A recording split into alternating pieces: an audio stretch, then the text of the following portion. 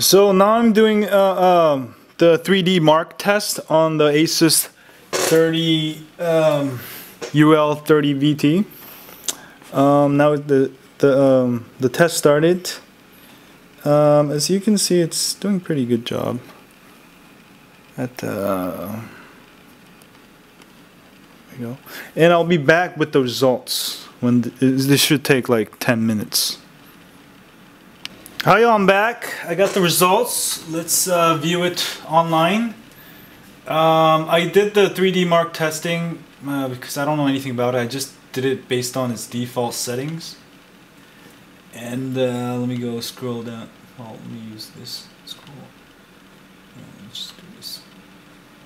So I got the official results on my my uh, Asus new Asus um, UL30 VT. A 3D Mark score is uh, 3434. SM 2.0 score is uh, 1371. SM 3.0 score was uh, 13, 1325. CPU score was 1538. Uh, OS Windows 7. CPU um, Intel CPU U7300 at 1.3 gigahertz. CPU speed is at 1.7 uh, gigahertz or 1733 megahertz, which is because it's on the high performance mode, uh, which overclocks the Asus uh, laptop. And the GPU shows generic VGA. Um, I think the NVIDIA G uh, NVIDIA GeForce 2010M um, actually shows up as a generic VGA, but not a big deal. Um, so there you have it, the 34, 34 uh, 3D marks. And I've also have the results from um, the PC Magazine.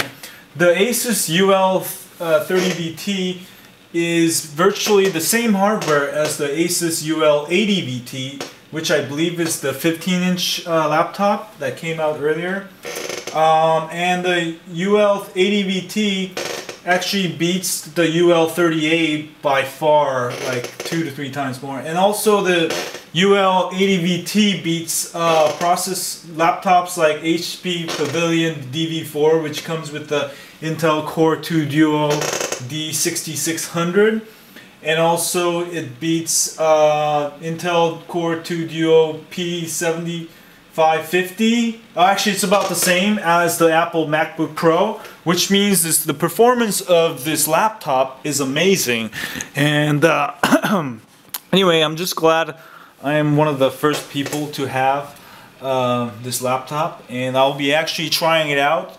Uh, going hardcore all day travel at CES 2007 uh, so I can take um, interviews of people and upload them uh, in battery saving mode while I'm walking through my broadband and also my uh, photo laptop bag which I'll be carrying around which I had a review earlier. Anyway, um, I think that's about it. Uh, I'm, I'm, I'm, I think I'm done with testing. I've been doing this like all day long. Um, anyway, thanks you guys for watching and subscribe. Um, I guess that's it. And uh, you should get one of these. These these are the best laptops I've ever seen. Oh, actually, I'll have one more review of the size comparing this to uh, something else like my netbook. Okay.